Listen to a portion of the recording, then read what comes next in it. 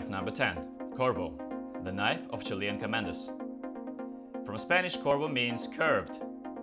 It has first been mentioned in literature in the Spanish heroic poem La Araucana, which was printed in 1578. The poem speaks about the Spanish conquest of the Araucana lands, the indigenous Chilean people. Corvo is quite an unconventional blade. Just like many other similar blades from other continents, it takes its beginning from a primitive farming tool. Nevertheless, this primitive instrument is at the disposal of the Chilean Special Ops and is made by an official state-owned company, FAMAE, which speaks to the time-tested functionality of this double-edged knife. Such a strange knife definitely needs special skills in handling it, and the Chilean Special Ops definitely have these skills. This knife got especially famous after the Battle of Arica on the 7th of June 1880, when the Chilean militaries, in hand-to-hand -hand combat, using only the Corvo, destroyed about a thousand of Peruvian defenders. On the ninth place is the knife of the People's Liberation Army of China, Type 65. It's a paratrooper's knife that's included in the set of parachuting equipment and is supplied to the army with a parachute, as a strap cutter knife but it can be carried separately on various equipment or just on your belt. Based on this knife, there was another one created called Type 84, which was used for the reconnaissance parties. These knives are supplied to the army as separate equipment. The holsters of all these knives are noiseless. They're made of nylon on a metal base and attached to a leather hanger. At the moment, the People's Liberation Army of China gets the paratrooper's knife Type 95. The 8th place, Kukri. Kukri is the fighting knife of Gurkhas, the Nepalese Highlander mercenary warriors who's been serving in the British military since the beginning of the 19th century. They were taking part in all the military conflicts, together with Great Britain, and it's thanks to the Gurkhas this knife got popular. They were taking part in the First and Second World Wars, in Hong Kong, Malaya, on Borneo, in Cyprus, on the Falkland Islands, in Kosovo, Bosnia and Afghanistan. They were fighting in rifle units, paratroopers, engineering and special forces. They made the kukri famous all around the world. You can find out more about this legendary knife from a special video of the knife story dedicated to kukri. I'll leave a link in the end of this video. The seventh place, US Mark I trench knife. During the First World War, the so-called trench knives appeared. They play the part of close quarter combat weapon Back then, among the American soldiers, a combination of brass knuckles and a dagger became very popular. The standard issue knife of 1918, Mark I trench knife. This knife was created by the French knife-making company Au Lion. It had a cast bronze handle made as a full-fledged knuckle duster. It had a double-edged dagger blade with flat grinds and sharp on both sides, which allowed for impaling and cutting strikes also. The sheath was made of leather and metal with convenient hangings that allowed for hidden carriage on the back also. It's a serious and multifunctional close quarters weapon that allows to combine the strikes of the handle with thrusting strikes to the opponent. After the end of the First World War, all the Mark I knives were taken to a warehouse where they waited until the beginning of the Second World War. The sixth place, Fairbairn Sykes fighting knife. Dagger of the military commandos. It is traditionally employed by the Royal Military Commandos even nowadays. Created in the 1930s by ex-military, the British instructor of the commandos in shooting and close quarters combat, William Edward Fairbairn. And Eric Andrew Sykes. They had the real experience of hand-to-hand -hand combat on the streets of Shanghai, the southern Chinese city and ex-British colony. The 12-inch blade was based on the decommissioned bayonets from Medford rifles, and the spindle-shaped handle was copied from the rapier handle. At the moment, the FS dagger is the symbol of commanders, marines, and paratroopers special forces of the Great Britain. The fifth place, Applegate Fairbairn. The AF fighting knife was a logical continuation of the famous commando knife Fairbairn Sykes, which took the previous place of our top chart. This knife was developed by Colonel Rex Applegate from the Special Forces of USA and the British Royal Marine Captain William Fairbairn, one of the developers of the Fairbairn-Sykes dagger. Colonel Applegate brought some changes to the Fairbairn dagger, which, although its fame was well worth, had some defects. The AF knife got a wider and sturdier blade with a more rounded cross-section of the tip, which made it more durable. Besides that, the tang of the blade got much wider and tougher.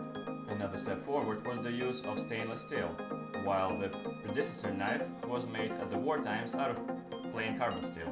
The biggest change though was made to the handle. It has an oval cross section made out of plastic and it's very comfortable for the grip. It's narrowing down to the cross guard, which helps control the blade and eases taking the knife out of the sheath. The cross guard is symmetrical bent towards the blade, which allows for the use of untraditional grips of the knife.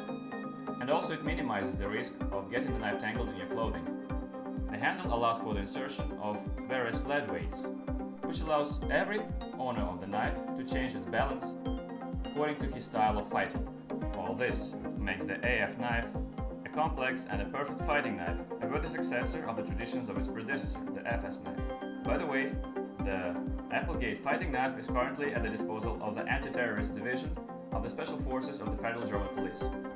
The fourth place, Extrema Ratio Fulcrum S. Actually, the Extrema Ratio guys have created quite a few military knives, but Fulcrum S was one of the most famous. The knife got very reliable. Its blade can bear a point load of up to 150 kilos. The time-tested shape of the Japanese Tanto allows for the long use of the knife in extreme circumstances without deterioration of its cutting qualities. The center of gravity is shifted to the front, and the blade is quite heavy, which allows for the effective chopping strikes. The fulcrum has been used as a standard equipment for the Italian army in Afghanistan. It was also a part of the experimental project of the Alpine Headquarters Command aimed at choosing a universal multi-purpose knife for the infantry. Extrema Ratio Fulcrum was so successful in the test that based on this knife, the Fulcrum bayonet was created, attached to the gun instead of the hand grip. The third place, Glock Fieldmaster 78. In 1977, the Austrian brand Glock got the contract for supplying knives to the Austrian army. Back then, the company was not producing pistols, but was specializing in making various army equipment, like machine gun belts or entrenching shovels.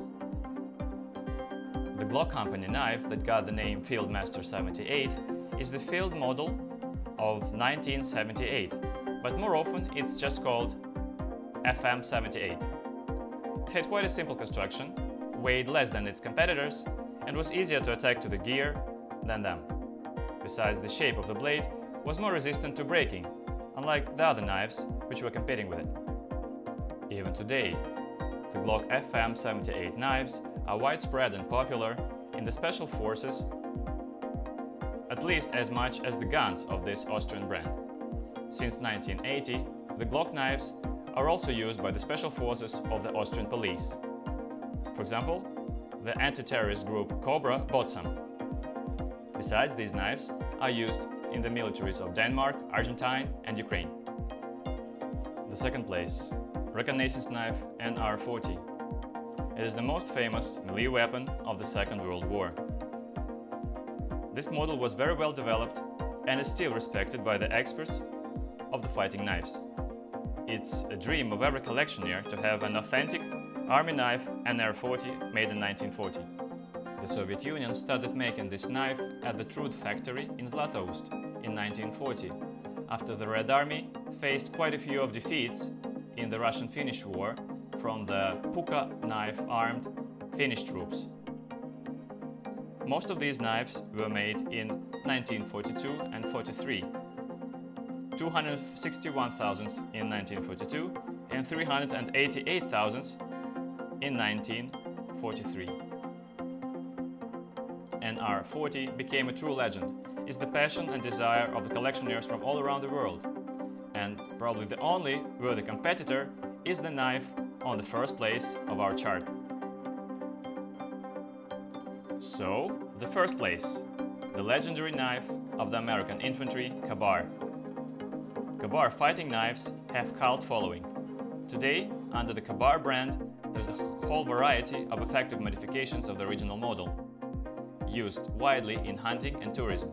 The Ka-Bar knife was developed by an American military man, John Davis, at the request of the US Marine Corps back in 1942.